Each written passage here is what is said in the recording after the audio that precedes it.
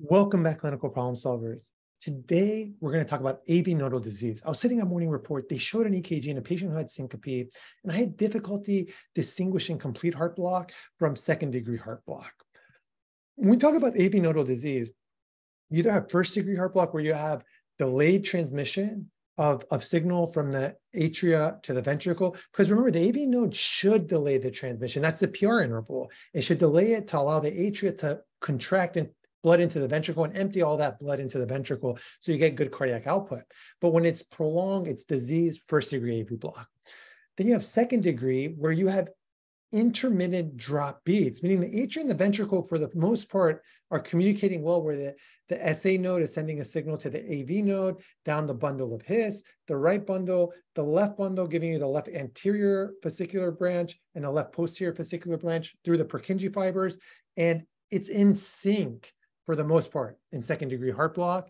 But some of these signals don't make it to the ventricle. So intermittently, the signal from the atria, from the SA node, doesn't transmit to the ventricle.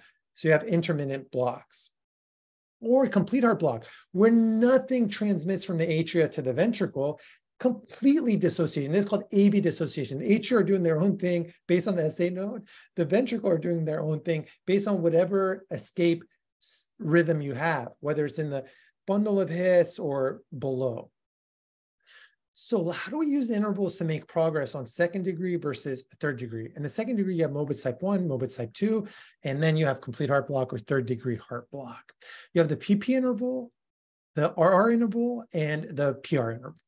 Let's start with the PP interval. What do you expect the PP interval to be in Mobitz type 1? How about Mobitz type 2? How about complete heart block? Well, if you know that the SA node is responsible for depolarizing the atria, which gives the P wave, it's not under the influence of the AV node. No, the signal is going this way. It's not, it doesn't care what's happening in the AV node. Therefore, it's if, as long as that's healthy, it's going to contract at a regular interval. So in all three, whether the atria are communicating with the ventricle or not, the PP interval is going to be regular in Mobitz type 1, Mobitz type 2, and third degree because it's not influenced by AV nodal disease. What about the RR interval? Well, tell me for type 2, what do you expect the RR interval to be? Regular, right? Because it's not under the influence of the atria. There's a complete block. So the ventricle, the R interval is going to be regular, regular, regular, regular. So in third degree heart block, the PP interval is regular, and the R interval is regular. And you literally have to use a caliper. I use a paper and you mark to measure the RR interval. And you go through the, the rhythm at the rhythm um, lead at the bottom and make sure that those RR intervals are regular. That's complete heart block. What about Mobitz type 2? Well, the way I distinguish Mobitz type 2 from Mobitz type 1, we know 1 in general is more benign, Two is concerning and it can progress to complete heart block. So two is more diseased. One is somewhat diseased, but it's still sending signals better from the atria to the ventricle than Mobitz type 2. So what we expect to happen for Mobitz type 2 is your RR intervals are fixed before the drop beat. So literally you have like a PQRS P QRS, P, and then drop beat. And if you measure that R interval preceding the drop beat, it's regular, regular. And then even where you expect that beat to be where it dropped, if you pick up and continue measuring, it's going to be regular. The R interval is going to be regular. Does that make sense? Because we know with Mobitz type 2, spoiler alert, the PR interval is fixed. And then boom, drop beat. So again, PQRS, PQRS, P drop beat. So what is that telling you? Three P waves two QRS. That's a three to two um, block. And if you pick up your, your caliper and you measure right where you expect the QRS to be, the next QRS will land perfectly right there. But with type 1 disease, where it's somewhat disease, but not completely, so it's fighting, it's fighting, meaning that it's still sending the signal, but it's getting more delayed, more delayed. The PR interval is lengthening and lengthening and lengthening. The R interval actually shortens and shortens ever so slightly, but you should be able to detect that if you do QRS to QRS.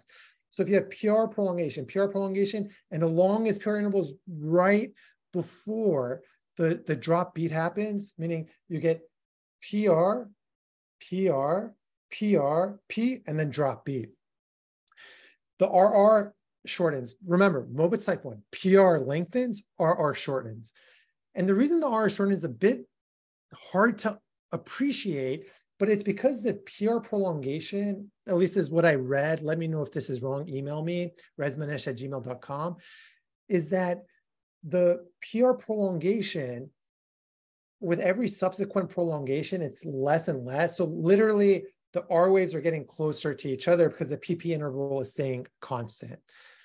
It's hard to understand that. I, I know it's hard to understand that because it's hard for me to understand that.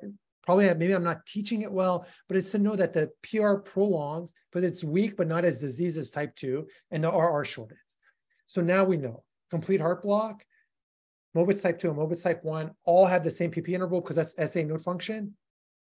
Complete heart block, the RR intervals are all regular. Why? Because there's complete dissociation between the atrium and the ventricle. In Mobitz type 2, right before um, the drop beat and after the drop beat, you have regular RR intervals and the PR intervals are, are regular. In type 1, the PR prolongs, the RR shortens.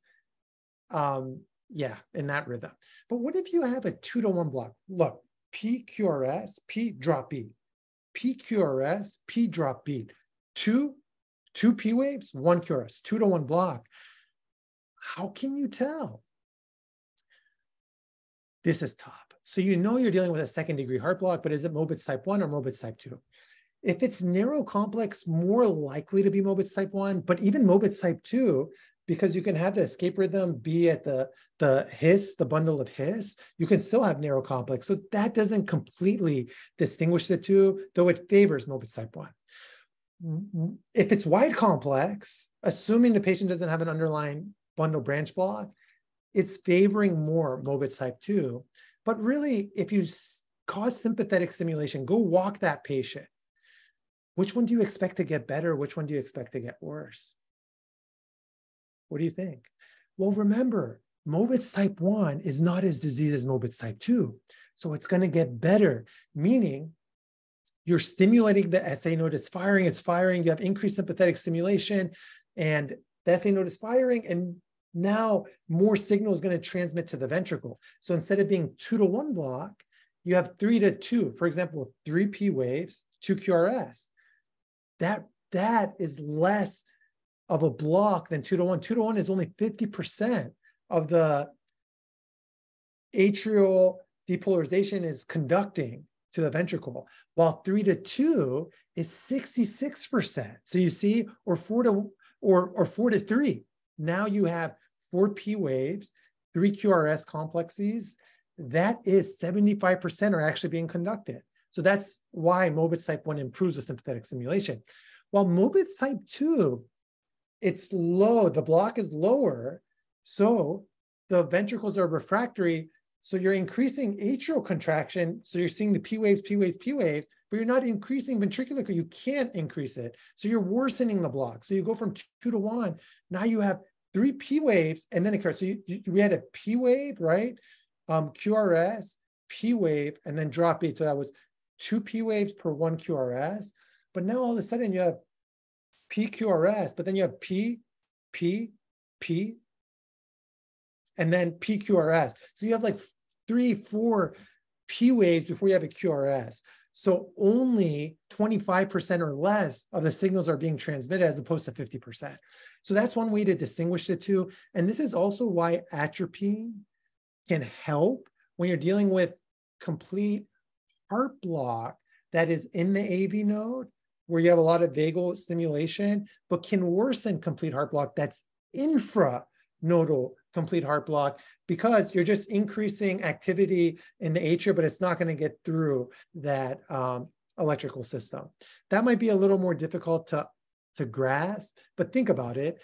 If I were to summarize this, when you see an electrocardiogram, zoom out, measure PP, P, all these have regular P intervals, measure the RRR, um, complete heart block has regular R intervals throughout, while Mobitz type 2 has regular R intervals before and after the beat, so you can predict when the next QRS is going to be. And then in Mobitz type 1, the R interval should be shortening and the PR interval is lengthening. And if you have two to one block, stimulate, SYMPA improves Mobitz type 1, worsens Mobitz type 2.